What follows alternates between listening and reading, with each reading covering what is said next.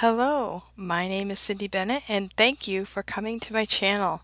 I am so excited I finally figured out how to do CamTwist and how to make a cover slide and hello! Yes, hello. Thank you for coming to my channel and thank you for watching this video. Eh, happy Memorial Day today and yes, we have a lot of things planned. I have a free class time right now, so I thought I would make a quick video about the hotspot and I wanted to show you my really cool rewards. These are Stars 2 Apples and this is done with the Mac computer as well as the um, iPad over here. I have the iPad over to the side and I have some rewards here. This is really cool. I can also go to the blank slide. I can use that as a whiteboard, which is really fun. I just made that with my student. The this is really cool too. You can have some props right here and off to the side here. You can also switch video source here so I can make myself bigger and I'm doing this during class now and I've only been doing this for a short time and I'm just loving it. I'm loving having these digital rewards. It doesn't replace the um, 2D rewards that you can use in your class, but you can also do things like this. I can move myself around, which is really cool. I'm really enjoying this. And I, since I hooked up my iPad to my computer, it has been much easier for me to figure out everything. I can also, in between the class, I wanted to really show so many things, but I'm going to keep it to this right now. I can reset it or I can also leave them open.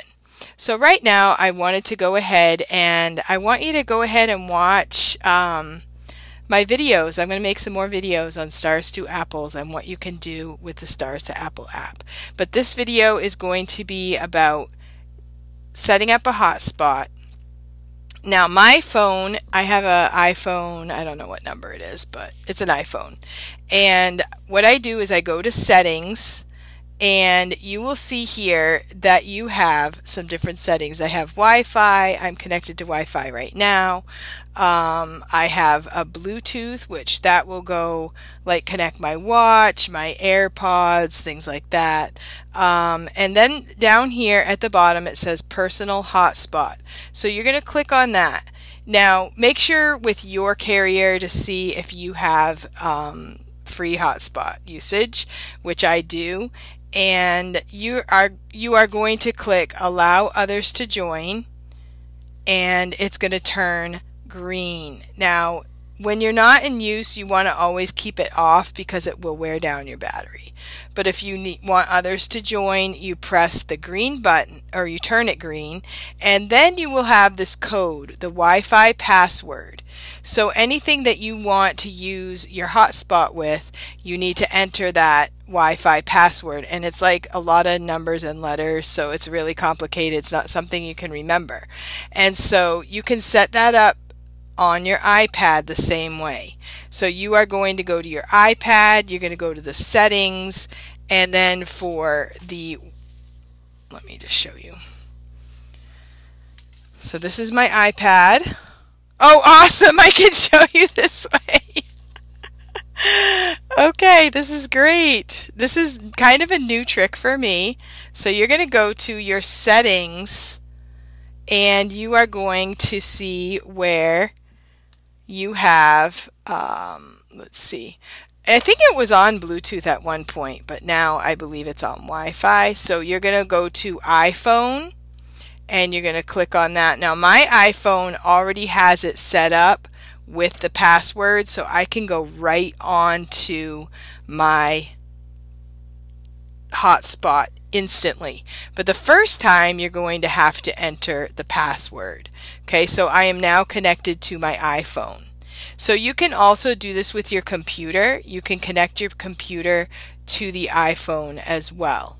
So you can already put that hotspot in there. Now, I am administrator for the VIPKid iPad users group. And so I always recommend to have an iPad as a second device because that way you can very quickly switch from one to the other. If the Wi-Fi goes out, you can get onto that iPad within seconds if it's all set up. And I would recommend that you have everything charged, have your phone charged, your iPad charged, just have everything always charged. And that way, if something happens, you lose power or, and or you lose internet, you can switch the, switch to your hotspot. So mine is right now connected to my hotspot and it's that quick. So I would recommend that you would go ahead and set that up. Make sure you have that all figured out before it's an emergency. Don't wait until it's an emergency.